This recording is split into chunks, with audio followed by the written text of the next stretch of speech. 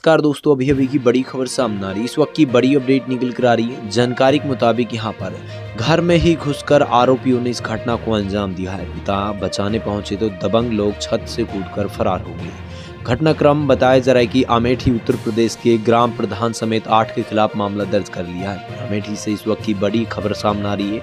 यहाँ घर में घुसकर ही आरोपियों ने इस घटना को अंजाम दिया।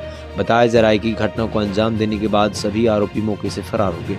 इस बीच बताया जा रहा है कि झुलसने के बाद सीएचसी में दाखिल कराया गया और डॉक्टर ने बताया जा रहा है कि वहाँ पर घोषित कर दिया। पिता की तहरीर पर पाँच नामजद, तीन अज्ञात आरोपियों के खिलाफ मामला दर्ज कर लिया है।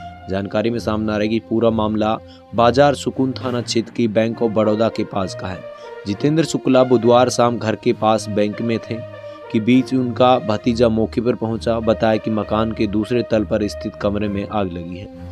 जितेंद्र घर पहुँचा तो बताया जा रहा है कि उनकी बेटी मौजूद थी और वहाँ पर वो झुलस गई। इसी बीच सीएससी में दाखिल कराया है वहाँ पर ये घटनाक्रम सामने आ रही है। हालाँकि उन्होंने क्यों अंजाम दिया, इसको लेकर जाँच की जा रही है।